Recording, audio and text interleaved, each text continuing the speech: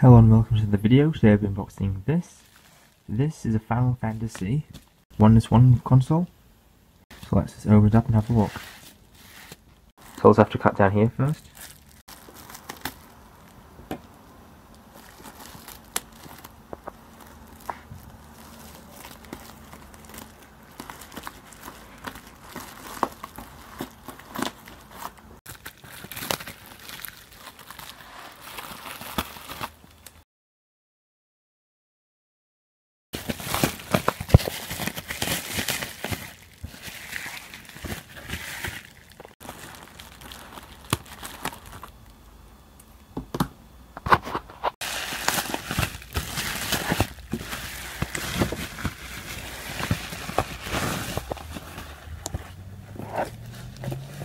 Okay, here it is. It's wrapped in a plastic bag, so I'll take that out and then cut back to having it out of the bag.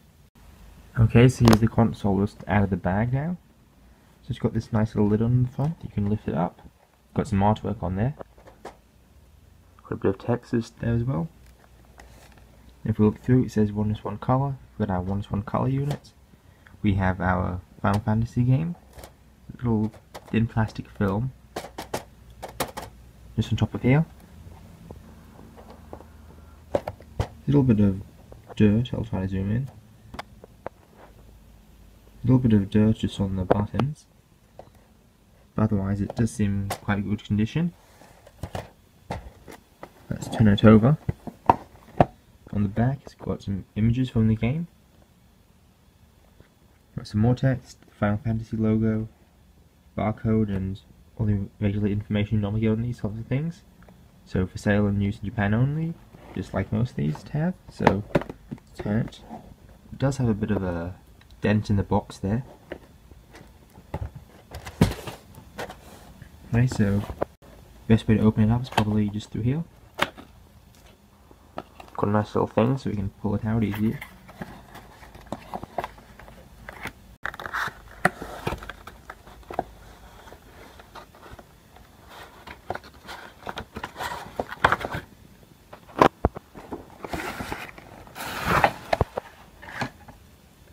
There we are, nothing else in the box. Nothing underneath it. So unlike the other ones when you unboxed, the other special edition one, that one had a large manual. This one doesn't seem to have one. So the system is just in here.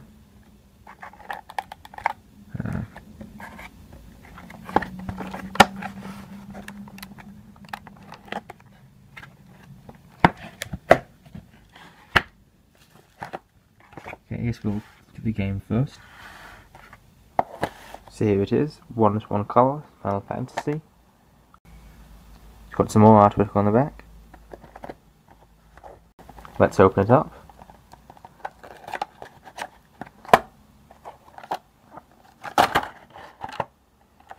Okay, so looks pretty regular.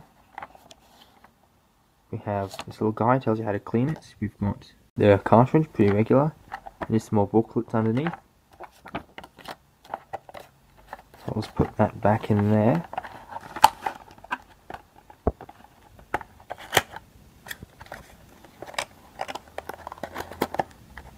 There we go, and now the system itself. Uh, not sure what the best way to get this out is. Guess you just have to force it a bit.